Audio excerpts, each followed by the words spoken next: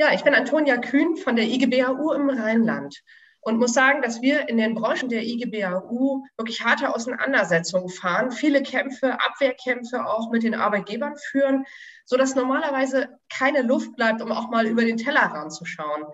Dieses Projekt Arbeit 2020 Plus hat uns aber genau das ermöglicht. Mit professioneller Begleitung und professionellen Instrumenten ist es uns geglückt, einmal jenseits der üblichen tagtäglichen Kämpfe ähm, ja, Ansatzpunkte zu finden. Ansatzpunkte für konkrete Handlungsoptionen, die wir gemeinsam entwickelt haben, um Mitbestimmung in Veränderungsprozessen auch zu stärken.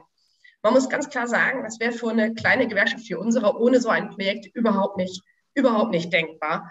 Und wir haben in unseren zwei Jahren der Projektteilnahme wirklich gute Beispiele erfahren, die wir auch in die Zukunft und als Beispiele für andere Betriebe, für andere Branchen mitgeben, mitnehmen können. Und dafür muss ich sagen, bin ich sehr dankbar, dass es das Projekt gegeben hat. Ich würde mir wünschen, dass es eine Fortsetzung gäbe.